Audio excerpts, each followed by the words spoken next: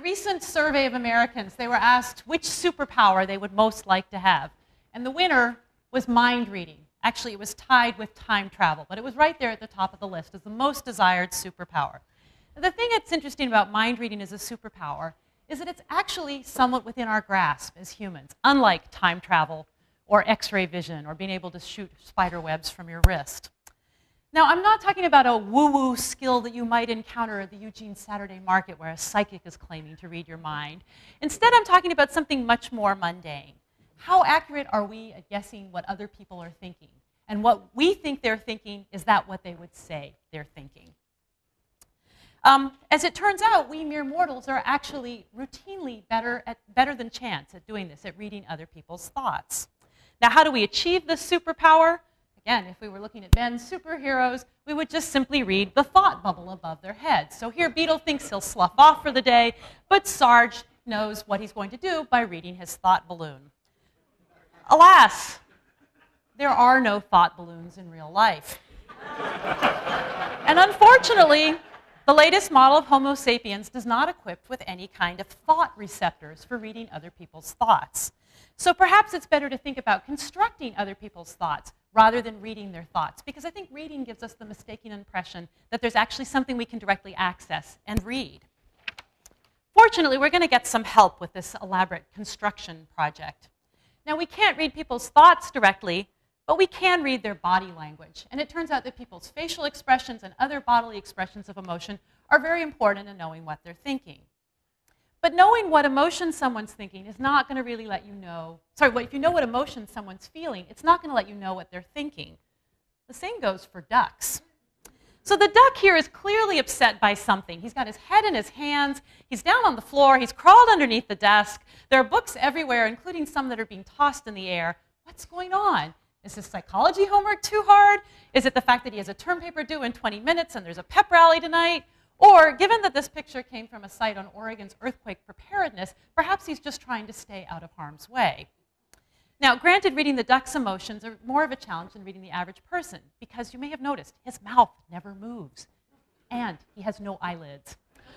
However, even when we have fully functioning, fully expressive human beings, um, it can be hard uh, to, to read. And it turns out that actually it's the verbal cues that other people give us, not the nonverbal cues, that, is, that are most important in understanding what they're thinking. So what people tell us is going to be a valuable cue to what they're thinking. Now, in addition to these verbal cues, we also have knowledge about a particular person, about an individual that's going to help us to know what they're thinking. In this picture here, you don't even have to see Chip's face to know that he's probably thinking something along the lines of, I hope this ends soon. Now, how do we know that? We know a little bit about Chip Kelly. He's not kind of a snuggles and hug, you know, huggy kind of guy.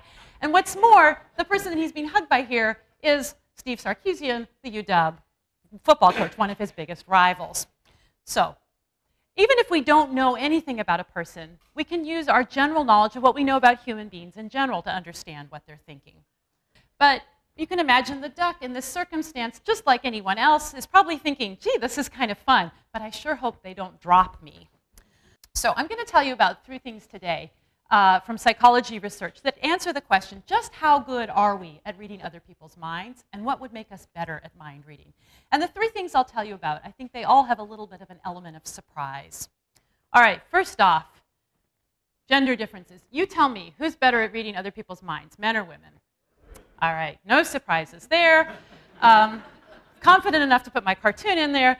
Uh, we have a woman here, she's reading this guy's mind, and I think this really perpetuates this strong belief that women are not only better mind readers, but that men are somewhat flummoxed and cowed by women's ability to do this. Um, all right. Several studies have indeed shown that women are better mind readers than men. But the surprise is that there are a number of studies that show that there is no difference between men and women. Or, as my lab has summarized it, uh, women are sometimes better than men, sometimes they're not, but men are never better than women. Why do women show this sometimes advantage? Why do they only show the advantage some of the time? We think it's because there may be gender specific ways of motivating women to, to be more accurate at reading other people's minds. It's like anything that reminds women, oh, yeah, we're the gender that's supposed to care makes them more accurate at reading other people's minds. So, for example, if you ask women first how much sympathy or compassion they feel for another person, they'll be better at reading that, that person's thoughts. Um, if you give men that same nudge, doesn't have any effect. Similarly, if you challenge women's superiority at this skill, so if you say to them, you know that stuff about women being more interpersonally sensitive, you know there's been some new research that suggests that's not right. Women will rise to the challenge and they will perform better. Now, these two findings, however, don't mean that you can't motivate men to be more, uh, to be better mind readers. Um, we just need to find equal opportunity motivators, things that work on both men and women, like money. Um, we did a study here in Oregon, and we told people we'd pay them according to how accurate they were at reading other people's thoughts. And it turns out that everybody got a little bit more sensitive when they were given money to motivate them, and the gap between men's and women's performance closed right up. All right. Next up, Everybody also knows that if you've had some ex personal experience with a life event, um, you'll be better at understanding the thoughts of someone else who's going through that same life event. So you know new mothers think they understand other new mothers better. College students with divorced parents believe that they'll understand better what other college students or uh, parents who are divorced are, are thinking. Except the problem is we've never found any evidence for this in our studies of, of, of mind reading accuracy. We've found no evidence for the experience advantage. And the experiences that I mentioned, um, being the mother of a new child, having your parents be divorced, and actually being a recovering alcoholic, those are the experiences we've used in our studies. And the people who've had those experiences were actually no better at guessing the thoughts of other people who had those experiences than people who'd never had that experience. Here's an example of some of our data from uh, the, the, study using parental divorce. And what you're seeing here is uh, the bars represent how accurate the people, the, participants in our studies were at guessing other people's thoughts, and if they'd had the experience of parental divorce, they were no better at guessing the thoughts than if they had never been through that experience. Um, and we've seen the same null result with no difference between the two groups now in, in several studies. At this point, you're probably wondering, well, how exactly do they measure that? And in the divorce study, what we did, we had pairs of college students come in in this study. Those were our participants. And in those pairs, there was always at least one student who had divorced parents. They come into our lab, they talk about how they think divorce affects kids growing up, and we videotape them while they have that conversation. After that's done, they go back and watch the videotape, and we ask them to report the thoughts that they had while they had the conversation. And we also ask them the exact time that they had those thoughts. So, for example, the guy on the left here might have been thinking during this conversation as he thought about his own parents' divorce, I hated having to go back and forth between two houses. Then we show the videotape to the other participant, and we stop it at the same points where the first participant reported having a thought. And we say, okay, guess, what was he thinking right there? She might report something like, he's thinking about how it was hard not to have his dad around. And then we code how accurate that guess is. How close does that guess match what the first participant actually said he was thinking? Now, in this case, she's not particularly accurate, but you can see she's not totally off either. Now, that gives us this objective measure of accuracy. But it turns out that accuracy might not be everything. It may, that may not be all that there is. I think all of us can probably think of a time when we had the perception that somebody was understanding us, um, but maybe it was only a perception and they really weren't that accurate. Like this cat here who's giving an excellent uh, perception of being understanding, but is really feigning it. Um, and the one thing that seems to help create that perception of understanding is when someone tells us they've had a similar experience to ours. Now, we saw this in one of our studies.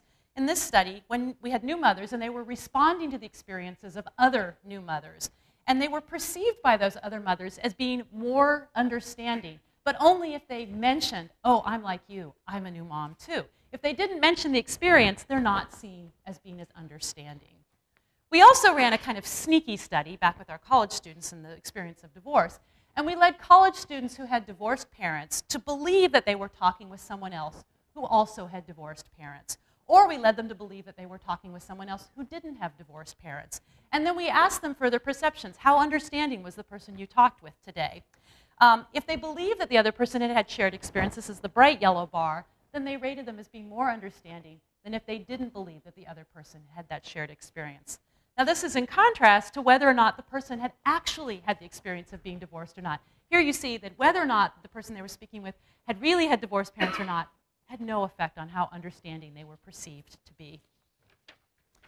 But why doesn't our personal experience make us more understanding or make us more accurate at guessing other people's thoughts? It seems like if we've been there too, then we should be better at reading others' thoughts on similar matters.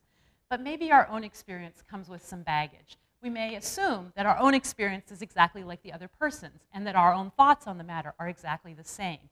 Essentially, we're projecting from our own experience onto theirs.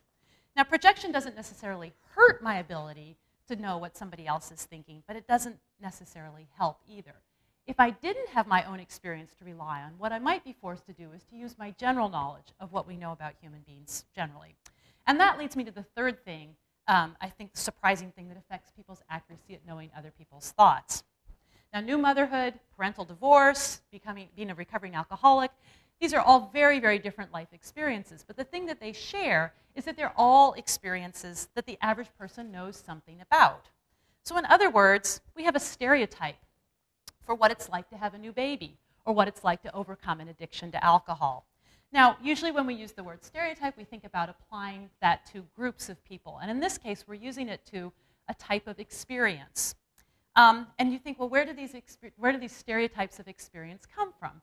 They come from places like our friends and neighbors, the evening news, from movies we go to, the novels we read, those after school specials we used to watch on TV. And those give us an idea. So you all can help me out here. You can tell me what's a stereotypic thing that a new mother might be thinking? What do new moms think? I want sleep. I sure am tired. My baby's awfully cute. I wish I had more time for my, my husband. And we found, and we've looked at this now in the studies with the new motherhood and also with the parental divorce, that when people make more stereotypic guesses about what other people are thinking, they're more accurate. Um, what you're seeing here is a regression line, and it shows that the participants that made more stereotypic guesses about new mothers, so in other words, guessed that they were thinking things like they were tired, um, were more accurate. The more those guesses had stereotypic content, the more likely these participants were accurate. Now, this is a counterintuitive finding. Instead of paying careful, close attention to an individual to guess what he or she is thinking, it's like we're applying this one size fits all stereotype. But again, if we were to try and take that careful attention approach, the problem is what exactly would you be paying careful attention to? Remember, there are no thought receptors that we can directly access other people's thoughts. So we resort to stereotypes, and we use this generalized knowledge of what we know about human experience, and kind of remarkably, it works. It makes us more accurate at guessing other people's thoughts. Now, three things to keep in mind about this strategy of using stereotypes. First of all, one of the main reasons why stereotypes work in this case is because there are common features to this, these experiences. Um, new mothers are generally tired, and college students generally are kind of upset when their divorced parents start dating or remarrying. And if these experiences didn't have these common features, or other people didn't know what those common features were, we wouldn't expect the stereotypes to lead to greater accuracy. The second thing is that uh, people in these studies were not necessarily trying to use their stereotypes, and they may not have even been aware that this was a strategy they were using. We simply measured the extent to which they uh, had stereotypic content in their, in their inferences and their guesses, and that, how that led to accuracy. We didn't tell people, use your stereotypes. And in fact, we think if we'd given those explicit instructions, it may have messed them up. And last thing, and you'll just have to trust me on this because I'm a psychologist, you probably shouldn't tell people, oh, I know exactly what you're thinking because I know what the stereotypic average new mother, college student with divorced parents, recovering alcoholic um, is feeling. Um, it's almost never nice to be on the receiving end of a stereotype, even if it's just one for experiences, and even if it's one that has some accuracy to it. Um, we just don't like it when other people assume we're like everyone else. And back to the distinction I made earlier between accuracy and perceived understanding, uh, the stereotypes might make you more accurate, but if you tell everybody that's what you're doing, you probably won't be perceived as very understanding. All right, so now you know a little bit more about mind reading. You know that uh, sometimes women have an advantage over men, and when they do, it's probably because there are special ways of motivating women. Um, you know that shared experiences will not make you a, a better mind reader, a more accurate mind reader. However, it might make you be perceived as more understanding, particularly if you remember to mention that you've had the experience. And when it comes to understanding others, using general knowledge about common features of certain life experiences, it's likely to make us more accurate mind readers. So the next time you're feeling a little down, just remember that you, as a regular human being, are endowed with a touch of a superpower when it comes to reading between the minds. Thank you.